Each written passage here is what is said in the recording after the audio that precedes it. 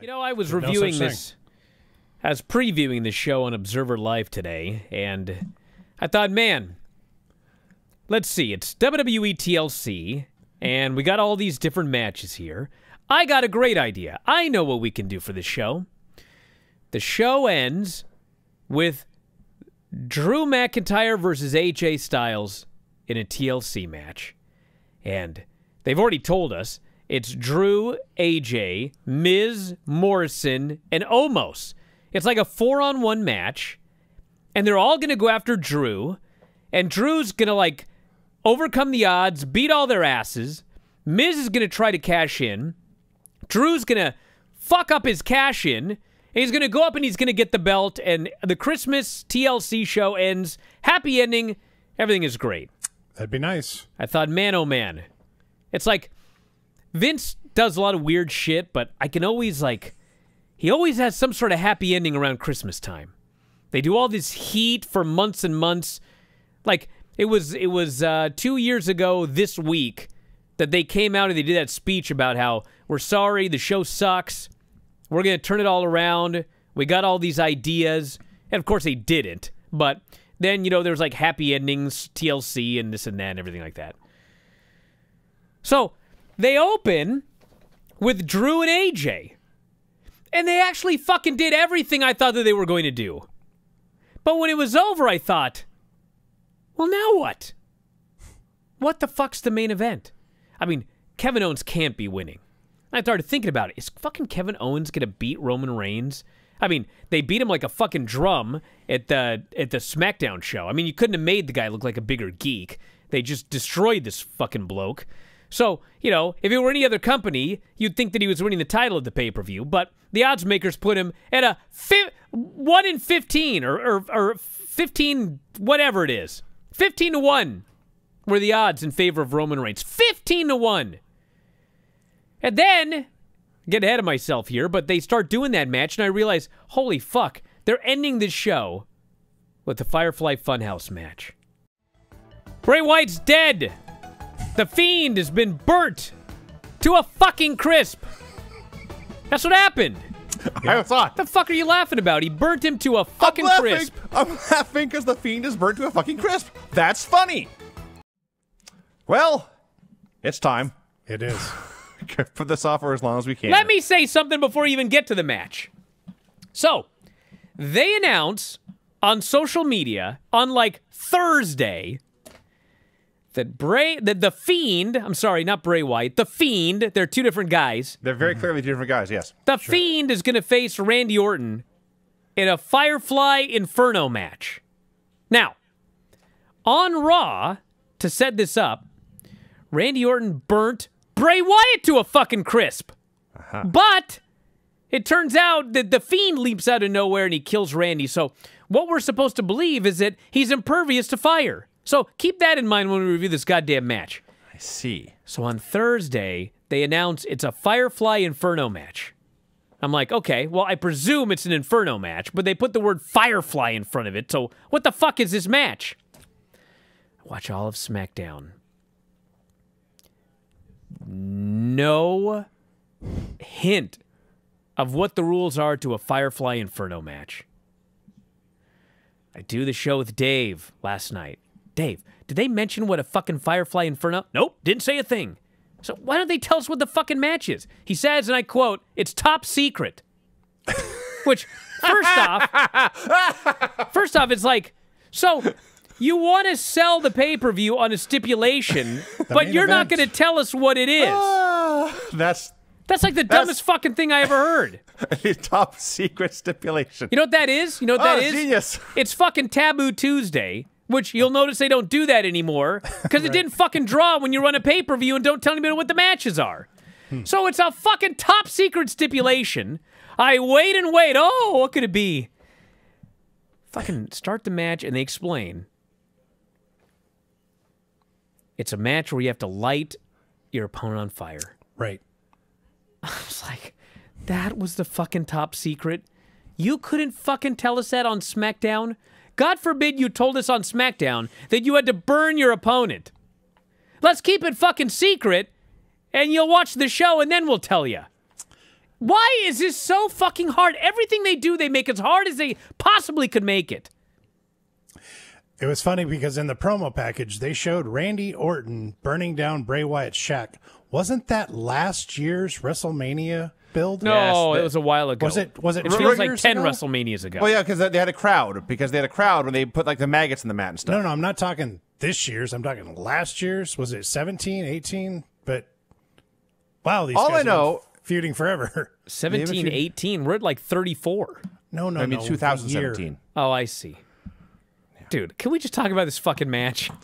Well, it's important to remember this may not even be the worst match Randy Orton and Bray Wyatt have had together. Oh, for sure it wasn't. Sure. For sure it wasn't. It was just a dumb finish. As a match, they worked hard. It was fine. I guess. So it's Bray Wyatt versus Randy Orton in a Firefly Inferno match.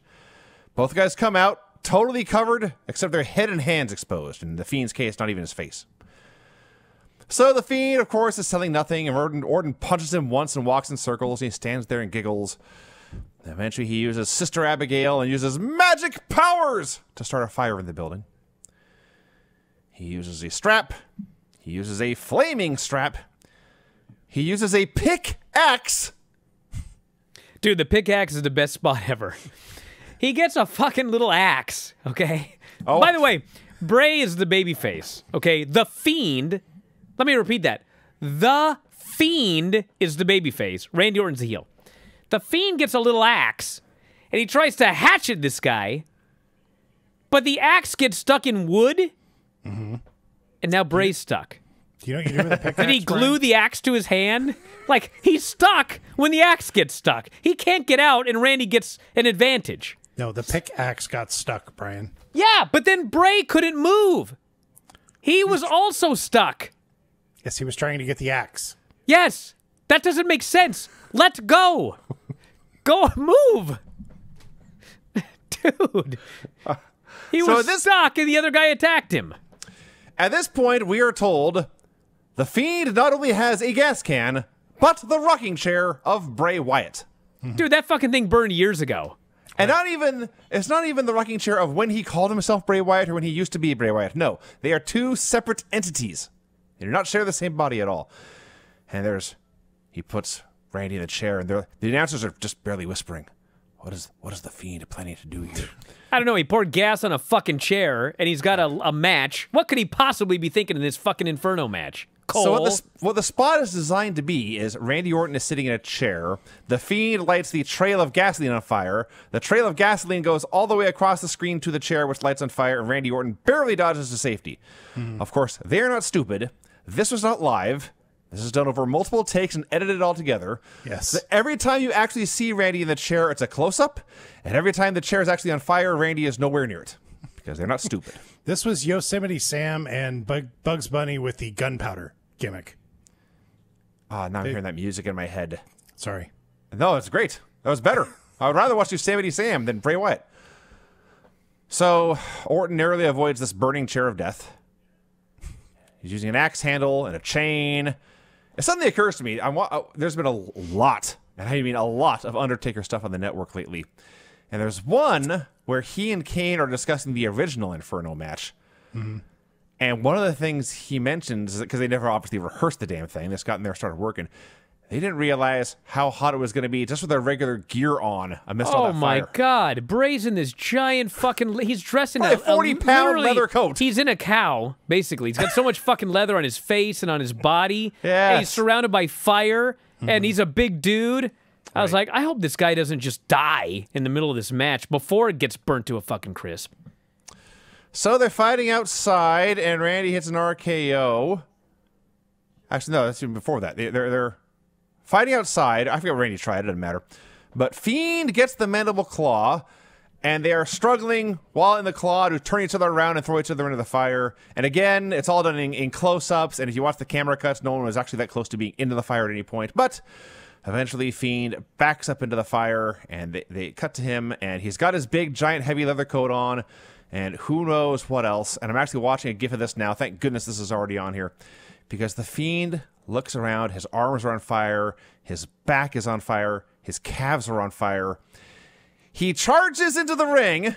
I laughed my ass off at that. He charges right into an RKO. And even though we were told earlier in this match the Fiend is impervious to pain, apparently once you light him on fire, this kills the magic spell. And now the RKO has knocked him out cold. I just like that the RKO was more devastating than fire. Significantly more.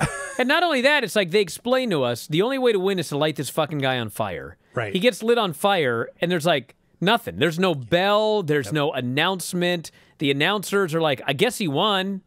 Guy's on fire. but then they get very concerned because following a guy getting lit on fire in a match where the only way to win is to be lit on fire, Randy threatens to light him on fire, and now they're furious. That's all ha- that happened. That's all, exactly what happened. Fucking stupid. So How dare you?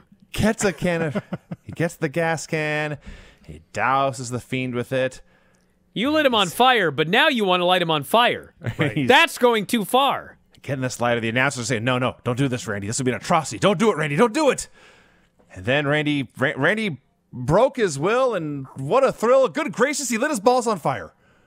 And he sets the fiend on fire. The fiend is ablaze from toe to head out to his arms. Just an inferno in the middle of this ring. And he burns, and he burns, and he burns. He's still And- fucking burning, I'll bet, because there was nobody around to put him out. Actually, I have good news, Bryan. I can confirm for those of you fans of the Fiend, he has apparently been put out because he's already on Twitter again. What? Excuse me, the Fiend is on Twitter. The, the, the Bray He's Wyatt. tweeting? Bray Wyatt has. That's uh, a different guy. I suppose that's true. That's true. Okay. That's true. He, he tweeted out Bray Wyatt tweeted out a picture of a cocoon, and the note reading "Thank you." So I guess the Fiend is dead, which would I make sure me hope. so happy because the Fiend fucking sucks. Well, you know what'll happen is he'll be gone for like a year, and then Raw will do one million viewers, and then they'll fucking bring back the Fiend. That's Like that's going to solve the problem. pathetic. I hope this is the end of this character. I it laughed my ass off. Like they- they're trying to scream to, to preach to me that I actually watched a man be set on fire and die. Yeah. I'm laughing so hard. I am laughing so hard. I needed this laugh. Thank you, WWE. They say they put smiles on faces. You know what? They put a smile on my face when they lit the fiend on fire. wow. What are you going to do when he's on Raw tomorrow and at the Royal Rumble? When he's like number Raw. 30? I'm not watching Raw. If he comes out, if he comes out for the Royal Rumble still on fire, that would be awesome. He's Listen. been burning for a month.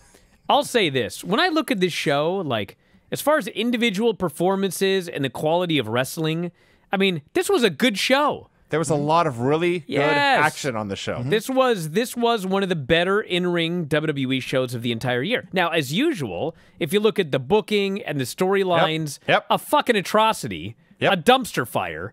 But Yes. God bless all of the individuals involved because they all worked very hard and they tried their best. They're just working for a lunatic. There was one point where they actually left the camera on the dummy for way too long, and he like his clothes started to like melt, like you know Obi Wan after getting hit with a the lightsaber from Darth Vader.